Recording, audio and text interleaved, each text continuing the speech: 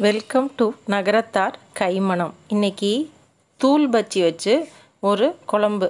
புளிக்குழம்பு மாதிரி ஒரு குழம்பு. டேஸ்ட்டாக இருக்கும். இது எப்படி பண்ணுறதுன்னு பார்க்கலாம். வாங்க.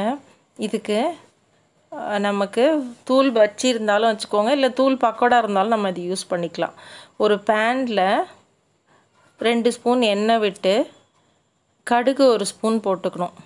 கடுகு நல்லா பொரிஞ்சதுக்கப்புறம் கொஞ்சமாக சீரகம் போட்டுக்கிறோம். சீரகமும் பொறிஞ்சிருட்டோம் இப்போது சோம்பு சேர்த்துக்கிறோம். சோம்பு போட்டதுக்கப்புறம் ஒரு அஞ்சாறு பல் பூண்டு அதையும் இது கூட நம்ம சேர்த்துக்கிறோம். பெருசாக இருந்தால் நடுவில் கொஞ்சம் நறுக்கி நீங்கள் போட்டுக்கலாம். இப்போது ஒரு அஞ்சாறு சின்ன வெங்காயம் போட்டுக்கிறேன். தக்காளி அது கூட கரம் மசாலா மஞ்சத்தூள் மிளகா மல்லி கலந்தது போட்டுக்கிறேன்.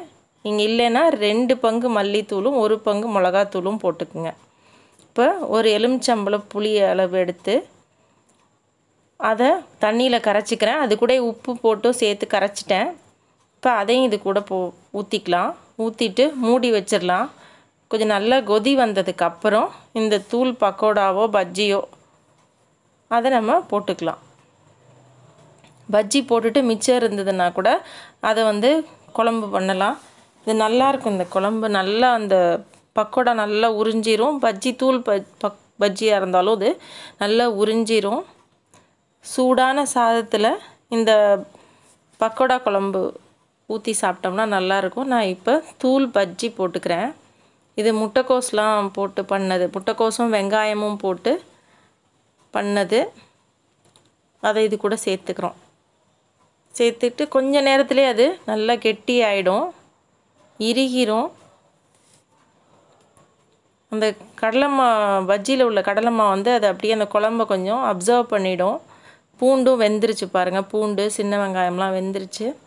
இது ஒரு ஒரு ஃபைவ் டு டென் மினிட்ஸ் அதை நல்லா சுண்டுனதுக்கப்புறம் அதை இன்னொரு பவுலுக்கு நம்ம மாற்றிக்கலாம் இது பஜ்ஜி குழம்பு நீங்களும் வீட்டில் ட்ரை பண்ணுங்கள் ஈஸியாகவும் வச்சிடலாம் இந்த குழம்பு. சில சமயம் என்ன காய் வைக்கிறோம் அதுன்னு யோசிக்கிறதுக்கு நம்ம பஜ்ஜியோ பக்கோடாவோ தூள் பக்கோடாவோ இருந்ததுன்னா அதை வச்சு ஒரு குழம்பு பண்ணலாம். இது பஜ்ஜி குழம்புன்னு சொல்லுவோம். செட்டிநாடு சைடு இது கொஞ்சம் ஃபேமஸான ஒரு குழம்பு.